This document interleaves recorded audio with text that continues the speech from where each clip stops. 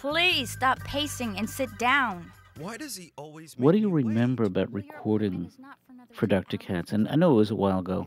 I'll tell you. Um, it was a while back, and I know um, Oh, that's plenty. we're out of tape. Yeah, it was a while back. It was a cold day, and uh, Quiet time. It was up in Boston. So I remember um, had to come all the ways up there. I think I actually had to pay for the trip. I'm not exactly sure. I'll make a note of that. Okay.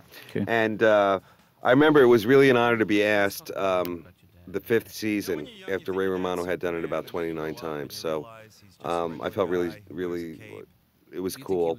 And it was already a big hit. So you know, you aired you aired in the first season. I did. Yeah. Okay. Okay, so so what what else do you remember about? So you came up to Boston, then and then did you spend the night? Yeah. Um, I believe I did stay in the night on your couch. No, uh, what happened is uh, came up to Boston. I thought it would be this big elaborate studio, but it was like a guy's Yeah. house. Was that your house? Yeah, that was Tom Snyder's house. We did the, the entire first season. We did in, in his pantry, which was like just a, a little room that he sealed off, soundproofed, put mics in it. Uh, he had a couple of animators working there. Yeah, it was a very it was a very mom and pop feel about it, you know. And uh, I remember uh, stepping outside for a smoke back then. You know, Right. cigarettes didn't cause any disease, and um, it was a bright day. And I'm like, wow, this is really cool. I really don't remember much. Was it was it exciting?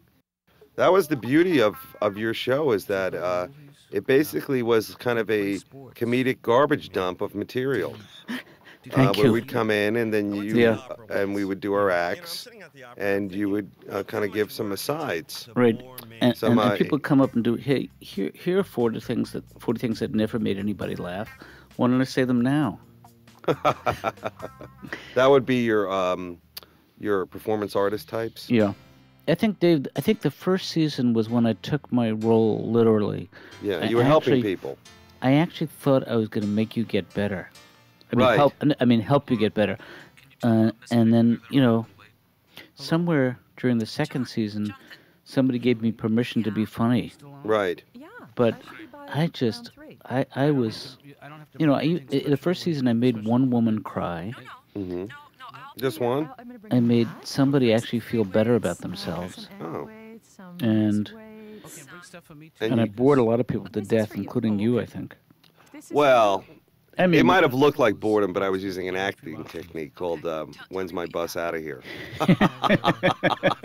oh, fake laughs all around. Now this was when it was on the Ha Network, right? Hey, do you remember that? You know, Dr. Katz was a rockin' hit back on Comedy Central. The only other shows they had, which it's so different from the way it is now, was um, South Park, The Daily Show, and Kids in the Hall. Oops. Oh.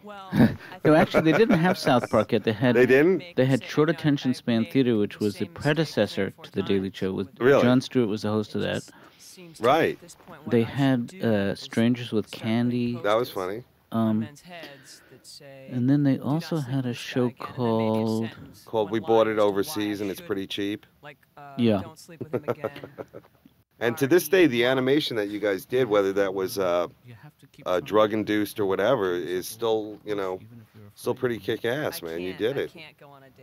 Was that your vision? Like you wanted to look kind of squiggly, like a meth? No, that was that was the vision of T- that was the vision of Tom Snyder because he he invented that form of animation.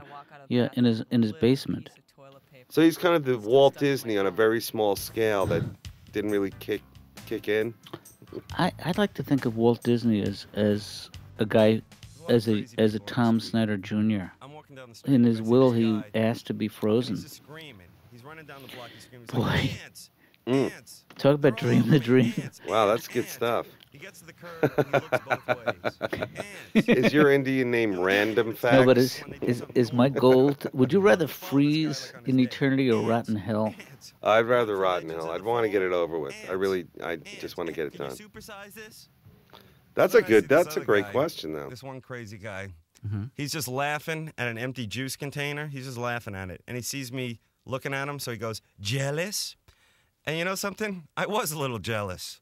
What is the secret, crazy?